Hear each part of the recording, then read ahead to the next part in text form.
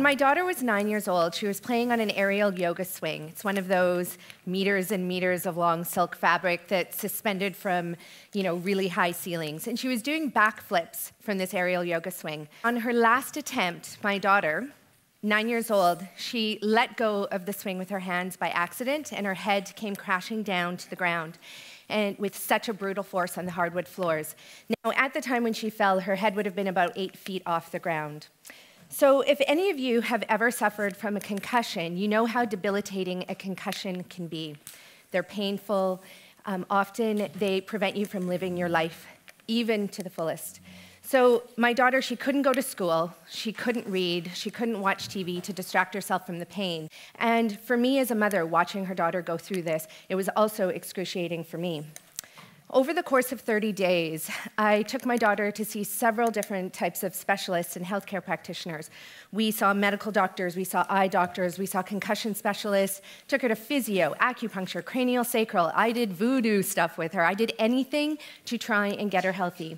And at best, her pain would come down to about a 7 out of 10, but usually within half an hour of her receiving a treatment, the pain would come back up to a 15 out of 10.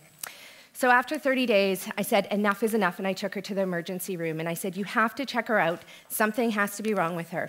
Now, I've been working for the last 10 years with people who suffer from cancer and chronic disease, and I teach them a metabolic nutritional therapy that actually reverses their illnesses. So, give me someone who has type 2 diabetes, MS, any type of autoimmune disorder, infertility, migraines, Crohn's, irritable bowel. I mean, the list is long. I've worked with hundreds of clients, and I know how to use food as medicine. But when it came to concussions, concussions are an acute condition right? It happened from an injury, similar to a car accident. And I didn't think I knew anything about concussions. I had done a lot of research in neuroscience literature, and, but really I didn't know what to do to help her. But the sad thing was, is that none of the doctors and other healthcare practitioners could help her either. We know how to diagnose concussions, but we do not know how to treat them. So often people are left on their own to try and figure it out. And often they resort to antidepressants, sleep medications, and other types of opiates that really they become addicted to. And this is the last thing I wanted for my daughter. So the emergency doctor that morning, 8:30 in the morning in Whistler, he said, "You know, you might have to prepare yourself that your daughter's going to have to be home for school for a year before she might even feel better." And I couldn't believe it. The wait and see approach, the do nothing approach, this was not good enough for my daughter and wasn't good enough for me. So then that's when I decided to apply everything I knew about working with cancer and chronic disease and apply it to my daughter that day. So I left the emergency room, we walked over to the physio clinic, and I demanded that the physiotherapist massage her intensely all the way through her body, not just her shoulders, not just her neck, not just her head. After that, we were fortunate that there was an acupuncturist in the same clinic, and I said, okay, I want you to follow up this treatment with acupuncture therapy to increase blood flow, circulation, anything to help my daughter. After that, we walked over to the optometrist. And fortunately, being in Whistler, everything is just a five minute walk away. So we were lucky, a bit different if you were in Vancouver or another big city. So I went to the optometrist and I said, you know, tell me anything you know about how to heal the brain from an eye perspective. And she thought, I'm sure she thought I was crazy. And she said, but you know what? There is something you can do. Go get a pair of rose colored glasses. Okay, now this isn't to, you know, be hopeful, but literally go get a pair of rose colored glasses and tape off the periphery of the glasses so that there's less stimulation coming into the eyes to give the eyes a break and then to ultimately give the brain a break. So that's what I did. And what was incredible is her pain by this point had dropped down to about a 7 out of 10. So then after this, we were fortunate to have a therapy float tank company in Whistler. So I took her over to West Coast Float. And if any of you don't know what that is, they're basically sensory depriva deprivation pods, and they're full of magnesium. So, from a nutrition perspective, I knew that magnesium is absolutely critical for brain health, for cellular regeneration, for total body repair. So, my daughter, nine years old, she agreed to undress, slip into the float tank, and she was in there for 90 minutes, absorbing magnesium transdermally through her skin, the best way to take most drugs and nutrients. So, after that, her headache had come down to a 5 out of 10, and I thought, incredible we have some success. And again, it wasn't good enough for me. So then after that, I brought my daughter home. And I did what I did best nutrition. And I pumped her body full of every type of nutrient in high, high dose that I can think of. And that was her lunch. Now, she was tired from all of these treatments in just one morning. So after that, I had her lay down, and then I applied what I call the Temple Grandin technique. Now, if you don't know who Temple Grandin is, she's an incredible woman who has autism, and I applied compression therapy. So a lot of you probably know what compression therapy is if you've ever had surgery or an injury where you wear compression stocking. So what I did is I applied compression therapy to her entire system in an effort to compress and promote healing and circulation, and ultimately to give her brain a break from all of the incoming noise that we suffer from every single day. Now, my daughter slept for two and a half hours, the longest nap she had taken since she was three years old. And when she woke up, her headache was at a one out of 10. Wow is right, but it still wasn't good enough for me. So I fed her again another nutritious, highly rich in omega 3s meal, and I took her to the chiropractor. And so at the chiropractor, I said, Listen, my daughter had a concussion, and I'm trying to heal her, and I'm trying to do it in a day. So I need you to go through her entire. exactly. I'd had enough. My poor baby was in pain. So I said, you need to adjust her body and make sure her entire skeletal system is in full alignment from head to toe. So I said, I'll pay you as much as you want, just do it. And she did. And after that, her pain was still a one out of 10, but she had a sparkle in her eye for the first time in a month. So I took her home and again fed her another nutritious brain meal and put her to bed. And for the first time in a month, she slept peacefully all night. And when she woke up the next morning, her pain was a zero out of 10. And the first thing she said is that she was ready to go back to school. And since that day, she hasn't missed a single day of school because of her concussion at all.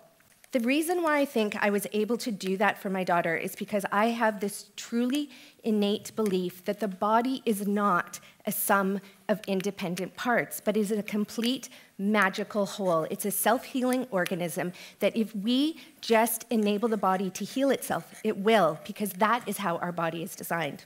The other thing is that we need an entire integrated healthcare system if we are truly going to tackle the health issues that we are faced with. Now, Right now, one in two Canadians will be diagnosed with cancer in their lifetime.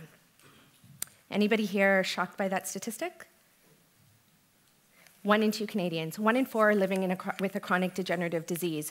This is an epidemic, and it's not being handled well within our current medical system. Yes, if you are in a car accident, Yes, I bow down to those doctors, the team of medical practitioners who are there waiting in the emergency room to treat you. But again, that's a whole integrated healthcare team that waits for you in acute situations. But we don't have that when it comes to chronic degenerative disease. Now, does anyone know what this number is? 7.5. That's the number of minutes that GPs are given to work with you, to treat you, to diagnose you, to prescribe you. 7.5 minutes. And that is not enough. Even with socialized medicine, 7.5 minutes is a disgrace because it's not enough time for a doctor to look into the magic crystal ball and figure out what is truly wrong with you. Now, with all the work that I've been doing with my clients, they come to me misdiagnosed often. They come to me on the wrong medications. They come to me in severe chronic pain, and they've been living that way even after undergoing surgery, multiple surgeries after surgery after surgery. And I know many of you can relate to that. Okay? Our medical system is not working when it comes to chronic degenerative disease, and that's the cold, hard truth. So, I have a proposition, and it's to rethink what it's like to go to the medical doctor. And instead of having a doctor say, hmm, what's the right surgery or pill for this illness? Because that's what they are taught in medical school. They are taught to diagnose and prescribe, and that is it. So, when it comes to our healthcare system, we need to reimagine med the medical education system. This is one of the courses, or programs even, that I would require of all medical students, and it would be called Food is Better Medicine Than Drugs. I met a fantastic doctor from Ireland, and he said when he was in medical school, he was actually required to read a book with the same title. And I thought that's incredible, but just a book? There should actually be a program. Because you see, I'm not a medical doctor, and in fact, the orthomolecular nutritional therapy that I teach my clients that reverses infertility, type 2 diabetes, heart disease, gets people off medication, and gets them to cancel their scheduled surgeries it's done through nutrition. And doctors, we know, when they graduate from medical school, on average, they receive about 6 to 12 hours, only at some universities, of nutritional training. And in most universities, medical colleges, they don't even teach nutrition at all. So when I have my clients who are doctors' patients and they actually heal, their doctors go, How is that possible? How did it work? Well, it couldn't have had anything to do with your diet. And in fact, it had everything to do with the changes it made to their diet and their lifestyle. The second course that I would teach is called The Power of the Human Mind. Now, did you know that there was a study released in 2014 that showed that in 74 that that sham surgeries were effective in 74% of trials. And sham surgeries are pretend surgeries. So what happens is you could you, you might be scheduled to have a surgery, and what you'll go into the emergency room, the surgical room, and then the doctors there will pretend to do the surgery. They communicate with each other, they pass instruments back and forth, they actually cut you open and close you up, but without doing anything. And it's been proven that the body heals itself just from thinking that it underwent surgery. And the same thing for placebo trials. Placebo trials are almost as effective, if not more effective, than most of the drugs out there. And a placebo is just a sugar pill. But what's even more fascinating is that even when doctors tell their patients and researchers tell the control groups that they are given a placebo and that they're going to be given undergo a sham surgery, they still heal, which is truly remarkable. We don't know anything about the human mind. We think we do Neuroscience and neuroplasticity is still only at the forefront of research right now. The mind is incredibly powerful, and doctors need to learn this in medical school, and it should not just be isolated to the neuroscientists. The third course that I would teach is called Anything But Meds, but I'm open to other titles as well. Perhaps it's Pharmaceuticals and Surgery, only as a last resort, or Don't Pay Me Until I Get You Healthy. Any one of those courses are the type of course that doctors need to take, not just a course, but an entire program. Because there's not a single pharmaceutical drug out there that doesn't have debilitating side effects. Even death are associated with most of these drugs. Did you know that the third leading cause of death in North America is medical error?